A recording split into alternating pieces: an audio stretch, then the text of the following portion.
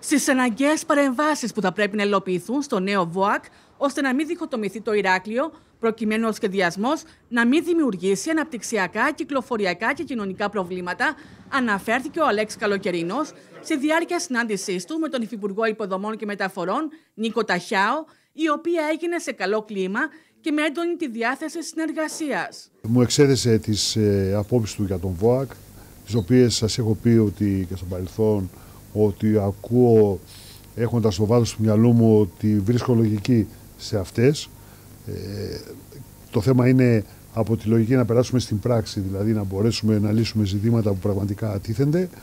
Τα ίδια ζητήματα έθεσε και στο Πρωθυπουργό πριν από λίγες μέρες ο κύριος ε, Δήμαρχος. Οι λύσεις σε αυτό το ζήτημα προς την κατεύθυνση της άμβλυνσης των προβλημάτων που προβλέπουμε, θα έλεγα προβλέπουμε με βεβαιότητα ότι θα δημιουργούσε ένας κλειστός αυτοκινητόδρομος χωρίς α, τις κατάλληλες πρόνοιες. Μιλάμε για τις άνω διαβάσεις τύπου cuts and covers, μιλάμε για τις υπόγειες διαβάσεις, μιλάμε για το παρόδιο δίκτυο, μιλάμε για τα υδραυλικά έργα.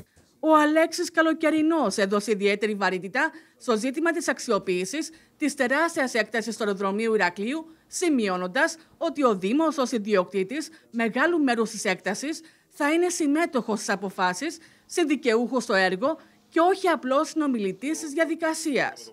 Ο Νίκος Ταχιάος ενημερώθηκε για το ιδιοκτησιακό καθεστώς, σημειώνοντας πως ο Δήμος Ηρακλείου πάντα έχει ισχυρό λόγο. Αυτά είναι ζητήματα τα οποία θα προσμετρήσει η όποια ορίμανση μελέτης αυτή τη στιγμή τρέχει από το ΤΑΙΠΕΔ και σίγουρα σε πολιτικό επίπεδο η πολιτική ηγεσία του Υπουργείου Υποδομών και ο Χρήστος Σταϊκούρας και εγώ θα ε, προσπαθήσουμε να βρούμε τον κοινό τόπο με τοπική αυτοδιοίκηση, κάτι το οποίο είναι το ζητούμενο.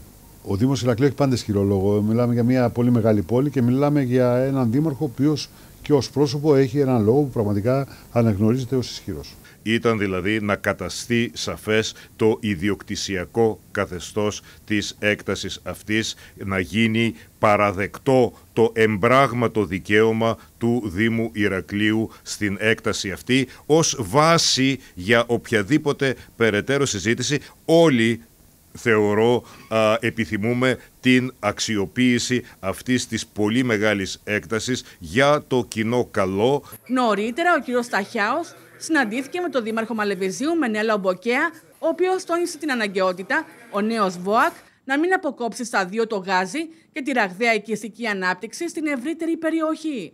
Ο λόγος που εμείς θεωρούμε ότι πρέπει να γίνει η υπογειοποίηση του τμήματος που αφορά στο εντός γαζίου κομμάτι είναι γιατί με την υφιστάμενη χάραξη αποκόπτονται εντελώς οι περιοχές νότια και βόρεια του γαζίου. Και μιλάμε για περιοχές που έχουν, όπως είπα και πριν, πολύ μεγάλη οικιστική ανάπτυξη. Και πρέπει να δούμε τι είναι ρεαλιστικό να γίνει. Θα ζητήσω από τους ε, συνεργάτες πρώτον να τοποθετήσουμε επί χάρτου. Να δούμε ποια είναι τα πραγματικά προβλήματα και να καταγράψουμε και αντίστοιχα τις ενστάσεις οι οποίες υπάρχουν.